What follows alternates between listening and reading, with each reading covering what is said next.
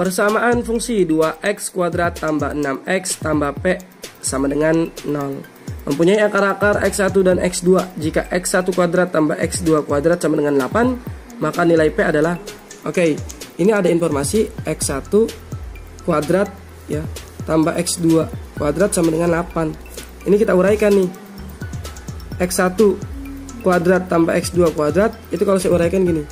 X1 tambah x2 dikuadratin dikurang 2x1 x2 sama dengan 8 8 sama dengan tetap.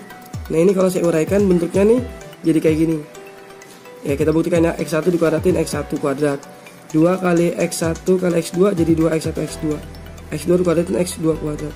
Nah karena kita udah kurangin sama 2x1 x2 nanti yang di dalam hilang tuh yang 2x1 x2 jadi bentuknya seperti ini. Nah tinggal kita cari x1 tambah x2 x1 tambah x2 rumusnya min B per A. Gitu. Minnya tetap B nya ke 6 berarti min 6 per 2 min 6 per 2 min 6 bagi 2 min 3 sedangkan X1 kali X2 C per A. Gitu ya. C per A nih liatin. C nya siapa? C nya P. A B C. C nya P. P per 2 gitu. P per 2 tinggal kita masukin X1 tambah X2 berarti min 3 nih. Min 3 dikuadratin. Oke.